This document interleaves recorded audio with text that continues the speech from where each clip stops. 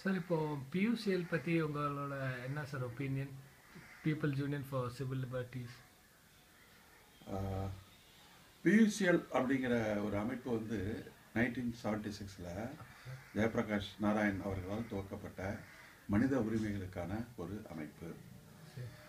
இந்தியாவில் குடிமக்களாக இருக்கிற ஒருவருக்கு அரசியல் சட்டம் வழங்கப்பட்டிருக்கிற அடிப்படை உரிமைகள் மீறப்படுகிற போது அதில் தலையிட்டு அந்த உரிமைகளுக்காக போராடுவது என்பதை பியூசிஎல் தனது கொள்கையாக கொண்டு செயல்பட்டு கொண்டு வருகிறது.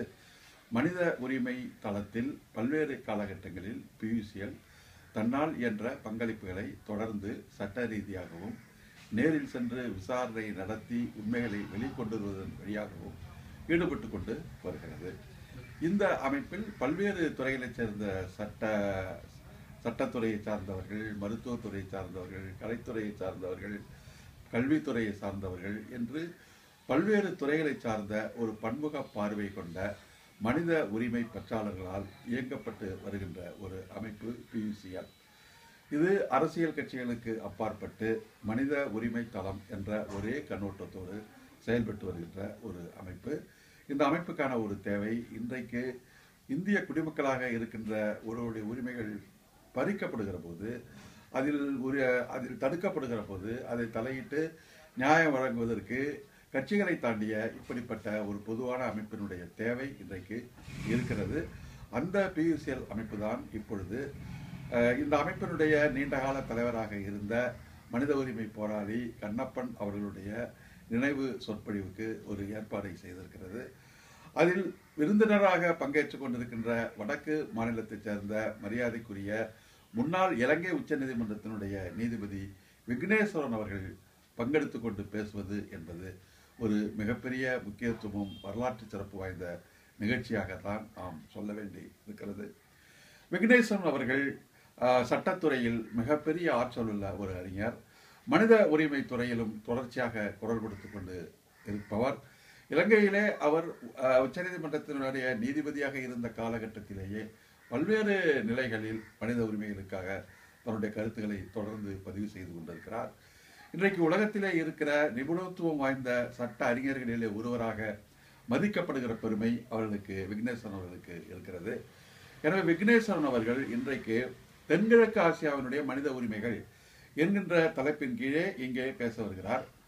அவர் வடக்கு மாநிலத்தில் ஈழத்திலே தமிழர்கள் வாழ்கிற யாழ்ப்பாண பகுதியைச் சார்ந்த வடக்கு மாகாணத்தினுடைய ஒரு தேர்ந்தெடுக்கப்பட்ட முதல்வர் விக்னேஸ்வரன் அவர்கள். அவர் தென்கிழக்கு ஆசியாவிலே இருக்கிற மனித உரிமை பிரச்சனைகள் என்பவைகளை பொதுவான ஒரு கண்ணோட்டத்தில் விரிவாக அலசி பேச இருக்கிறார். அந்த தென்கிழக்கு ஆசியாவில் இருக்கிற ஒரு பகுதியான இலங்கை நாட்டிலே இருக்கிற மனித உரிமை மீறல்கள் மனித உரிமை மீறல்களையும் தாண்டி அங்கே நடைபெற்றுக் கொண்டிருக்கின்ற போர் குற்றங்கள் இவைகளை பற்றியெல்லாம் அவர் தன்னுடைய கருத்துக்களை வெளிப்படையாக தெரிவித்துக் கொண்டிருக்கின்ற ஒரு சூழலில் தென்கிழக்காசியாவுடைய மனித உரிமை பிரச்சனைகளை பற்றி இங்கே பேச வந்திருப்பது என்பது மிகவும் முக்கியத்துவம் பெறுகிறது. அது மட்டுமல்லாமல் தமிழகத்திற்கு அவர் முதன்முறையாக இப்பொழுதுதான் வருகை தருகிறார். எனவே அவருடைய வருகை என்பது தமிழகத்திலே மனித உரிமையாளர்களால் இலங்கை தமிழர்களுடைய நலனில் அக்கறை உள்ள தமிழீழ விடுதலையை விரும்புகிறவர்களால் மிகவும் பெரிதும் எதிர்பார்க்கப்படுகிறது. அவருடைய உரையினுடைய முக்கியத்துவம் பற்றியும் இங்கே மிகப்பெரிய எதிர்பார்ப்பு இருந்து கொண்டு இருக்கிறது. எனவே இன்றைய ஒரு சூழ்நிலையில் மக்களால் தேர்ந்தெடுக்கப்பட்ட ஒரு பிரதிநிதியாக இருக்கிற விக்னேஸ்வரன் அவர்கள்தான் இன்றைக்கு அங்கே பாதிக்கப்படுகிற ஈழத் தமிழர்களுக்கு அதிகாரப்பூர்வமாக பேசக்கூடிய உரிமை படைத்த தேர்ந்தெடுக்கப்பட்ட ஒரு அரசனுடைய முதல்வராக இருக்கிறார்.